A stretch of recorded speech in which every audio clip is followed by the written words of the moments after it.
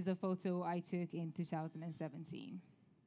I was one of 20 volunteers spending a summer Saturday planting trees. Why were we doing this?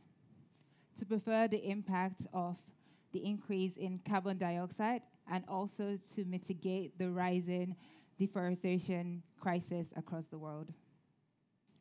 As many of you recall from our science classes, we humans need oxygen, and plants and vegetations need carbon dioxide to survive. Well, these might just be their lucky years because we're currently emitting some of the largest quantities of carbon dioxide in recorded history. According to an Oxfam report, it was found that for us to get to the average um, number of carbon dioxide to keep the planet safe, we need to be emitting approximately 2.1 tons of carbon dioxide per person. Presently, that figure is 10 tons, which is equivalently um, estimated to about filling 24 million balloons with carbon. We are currently producing more carbon dioxide than we can actually absorb. It was found in a study done by the National Biotechnological Information Center that the Amazonian rainforest, which has been generally known as um, the carbon sink, is now actually emitting more CO2. It's obviously lost its one job. the study found that fires, man made either deliberately through timber or, or burning off the wood for soil or raising our human um, husbandry, like for beef and cattle, actually contributes a significant amount to the Amazon rainforest being depleted.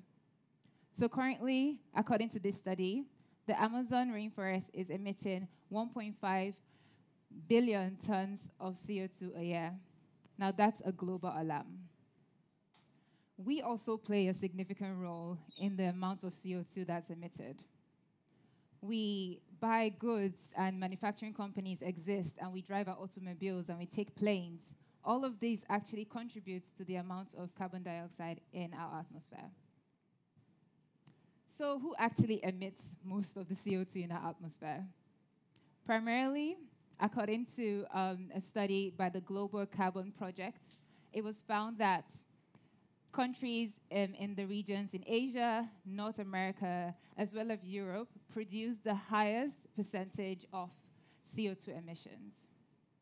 However, Guess how much African countries actually emit? Less than 5%. Some of the biggest industries emit exist in these regions. That's why really you expect them to be producing enough carbon, too much rather, carbon dioxide, because they need a lot of energy, which is generally produced by fossil fuels to actually operate. So many have actually argued if Africa isn't producing this much CO2, why should we be bothered about things like the net zero target or reducing the CO2 emissions? Simply put, global warming. Global warming has been identified as a main driver in the climate change currently happening. So, this is climate change which is causing the increase in CO2 emissions as well as keeping our, warm, keeping our planet a bit too warm. Climate change doesn't naturally care who produces the most CO2 or where the most CO2 actually originates from. What then happens is a lot of developing nations, much like the ones you find in Africa, are not resilient enough to actually deal with the crisis of increasing CO2 emissions. Bill Gates um, put, published a book last year, um, and it was titled How to Avoid a Climate Disaster. One remarkable thing I found particularly interesting in the book was his distinction, his distinction between um, mitigation and adaptation of climate change. Just so you have a better view of what I mean by this. Mitigation is taking up commitments either through our habits or changing the way we focus through our actions towards using carbon emissions. So it could be something as easy as having using the public transport, which has over 10 to 50 people in it, or taking your own personal cars to work every day. while adaptation, simply put, is building climate resilient structures that aid reduce the impact climate change has on us. And this another example is the energy efficiency systems that can be used through your air conditioners, which actually produce less energy. Many African nations are victims of the climate change, and which contributes to increasing the global CO2 emissions. But I want to tell you about a very interesting wall. Earlier this year, I was opportune to be on a panel for discussion on the Great Green Wall. And the wall essentially isn't just any wall. It's about an 8,000 kilometer stretch of green vegetation from the west Senegal to the east Djibouti of Africa. This wall, according to the African Union, is supposed to solve not just one issue of desertification in the Sahel, but also creates more water sources distribution and as well as create an entire stretch of vegetation which can now absorb the excess CO2 emissions across the world. So Africa is playing a part in aiding the reduction of CO2 emissions. This project was initially set out in 2007, and currently about 15% of it has been completed. It is estimated that in total, the wall is going to cost about 4.3 billion every year to actually complete it. And the really great part is this stretch of wall, 8,000 kilometers long across Africa, is going to reduce the carbon emissions for the whole world by about 250 million tons. Between um, late 2019 to about this year, a lot of companies and businesses and governments are taking off commitments towards actually reducing CO2 across their supply chains.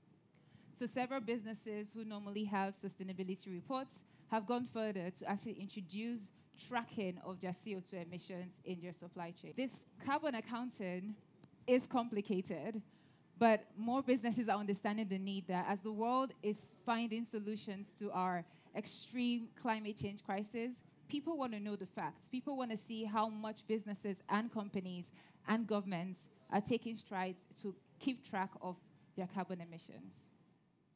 But carbon, tracking your carbon emission, known as carbon accounting, is complicated. As a business owner, how do you know how much carbon is being spent to actually source for your raw materials?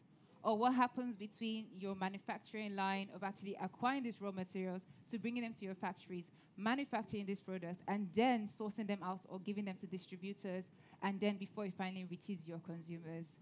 This is actually taking into account the logistics involved, either shipping, road networks, or even rail. All of this add into the carbon accounting that any business could take into account. So this is quite complicated because how do you really keep track of your entire supply chain once it's out your doors? So the impact that businesses now have could take a record across the amount of jobs that are actually provided during the carbon transition that we're currently experiencing. So, why do we care so much about the carbon offset? Simply put, there is no plan B. We don't have anywhere else to go but here. But the pathway to decarbonization is something that we have to take towards understanding the way we live as humans, the kind of goods we use, and the kind of futures we want for generations to come. According to the United Nations, financing is a huge part of actually getting towards reduced CO2 emissions. And this mean investing in mitigating and adaptation.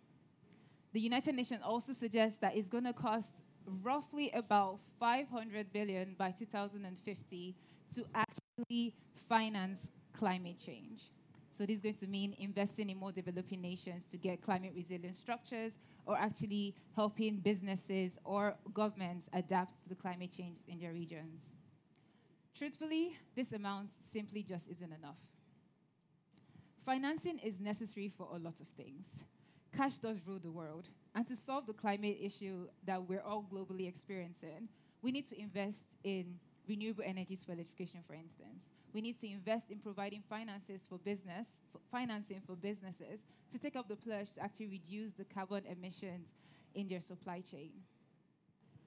Financing is also key to reduce the carbon emissions that we've all experienced in one way or the other, either through flooding, deforestation, or rising sea levels, the increasing weather in like our particular climate. Although Africa contributes to just 5% of the energy consumption across the world, most times these capital per emissions actually fail to accord for the average African life. Because when you really think about it, how much energy do you actually use compared to someone in a more developed nation?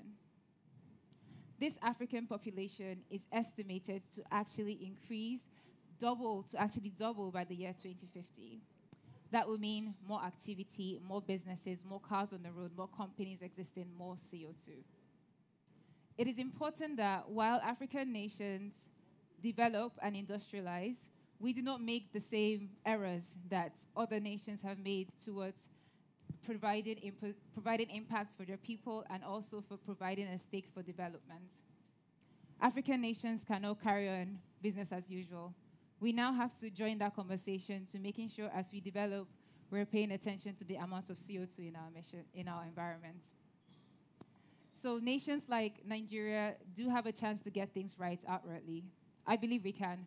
I believe by paying attention to the carbon emissions while we refine our natural resources or while we electrify our population, it is possible to do things with low carbon intensity. However, development and industrialization alongside the climate risk is not an easy task. It's going to take so much more to make sure developing nations are developing in a cleaner and more sustainable manner. But many have also argued well, if Africa isn't producing so much CO2 or we don't have enough activity yet, why are we joining the global race to net zero by 2050? Or why are nations like Nigeria actually pledging to meet the net zero target by 2060 when we don't even have industrialization at that scale. It is possible to actually develop and industrialize in Africa through paying attention to low carbon emission intensity. By reducing the amount of energy, for example, used to produce one particular good, that reduces and cuts down the impact it has on the environment. It's possible if we pay attention, if we're focused, and if there's enough financing.